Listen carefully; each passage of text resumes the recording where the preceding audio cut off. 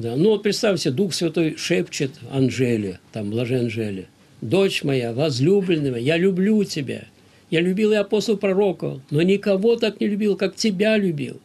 Она входит в Бог Христов, она пьет кровь, кровь это, это блажен, это из, издание ее, на русском языке же издание, причем переводили, это не какие-то фальсификаторы, это переводили люди, которые положительно относились. Возьмите других святых. Но вот последняя сейчас Тереза маленькая, так называемая младенца Иисуса. Она что там пишет? Вы посмотрите, какие вещи. Ее называют младенца Иисуса. То есть она все время вот эти скульптурки маленькие украшает цветами, водилась. Она скончалась в 23-летнем возрасте. И, что называется, играла в куколку э, Христа. Но посмотрите, что у нее, что только она пишет. А какие? Роман. Вы понимаете, роман настоящий. Во-первых, она пишет, что я пришла в монастырь, чтобы стать великой святой. Но я, правда, ошиблась. Я думал, что я буду великий, святой, вот в каком-то э, обычном смысле, да.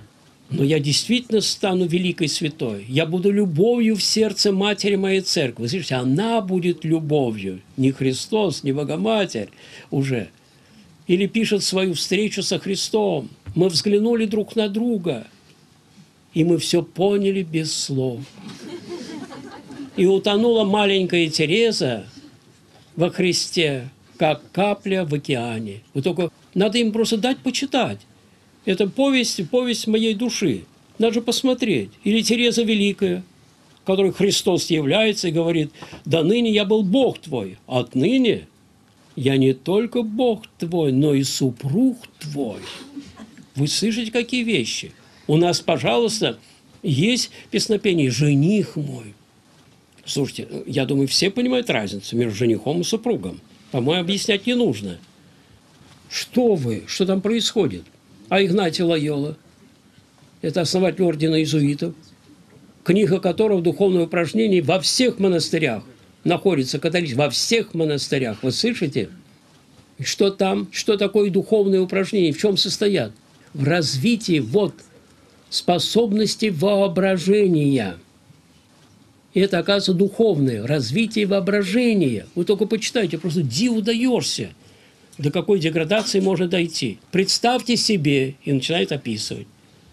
Ну, например, сидит молодая девушка, читает Священное Писание, и вдруг является ангел. Представь себе, как она испугалась, как она изменилась в лице. Да, представь себе, как вот он ей говорит, как она отвечает. Представь себе, как она идет потом по, по холмам и горам и, и долам к Елизавете. Представь все эти пейзажи.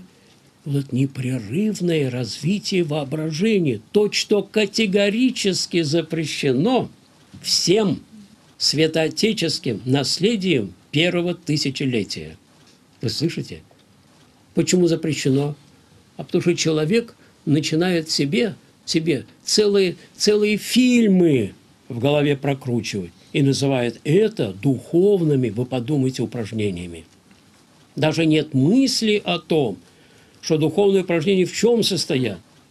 Понуждение себя к молитве о своих грехах, рассматривание своей души и очищение с помощью покаяния. Понимаете, в чем, в чем дело? Все извращено.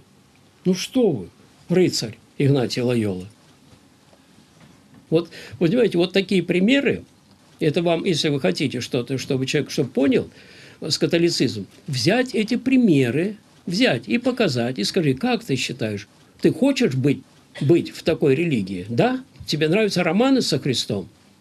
Ну, голубчик, тогда уж, тогда уж, тогда не спорю, ну, пожалуйста. Это то, что касается католицизма. Я уж не говорю о другой стороне, о папизме, когда Христос сказал, «Мое царство не от мира сего», а наместник Христа является кем? Главой государства от мира сего. Это наместник Христа, определение которого сами по себе, а не согласие церкви. Вы слышите, подчеркнуто, а не согласие церкви являются истинными, когда он говорит с кафедры, как верховный, верховный пастор и учитель. Человек – выше церкви, это что такое? Это откуда? Что сказал Христос Петру, когда тот, когда тот начал ему, Господи, не будет с тобой, отойди от меня, сатана. Вот как, здесь нет. Ну что вы, это что такое? Это в отношении католицизма. В отношении протестантизма, я вам скажу, я не знаю, это след... нужно это или нет, так там вообще вещи, вообще совсем, ну, просто скажу только, чтобы вы знали, это очень важно. Верующему человеку, вы слышите, это черным по белому написано, верующему человеку во Христа прощаются грехи прошлые, настоящие и будущие. Ура! Ура! Наконец решена эта тяжелейшая проблема. Проблема чего? Все время совесть подсказывает, ты не так делаешь. Да, и как же такое, говорит? А очень просто. Как прощать? Что значит прощается? Оказывается, вот каким образом. Да, мы остаемся грешными, но чужая праведность, это они так называют праведность Христа. Я вам прям, я цитирую вам эти термины – но чужая праведность закрывает от Бога наши грехи, и мы становимся невиновными перед Богом. Вы слышите? Если вас интересует кого-то, то я бы очень посоветовал книгу, которая наверняка продается. Это «Патриарха Сергия» Строгородского «Православное учение о спасении». Там он приводит массу высказаний святых отцов и разбирает это. Подумайте только. Поэтому, если кто хочет, чтобы вы прощались не только прошлые, но и настоящие будущие грехи, переходите быстрее, пока не поздно из православия туда.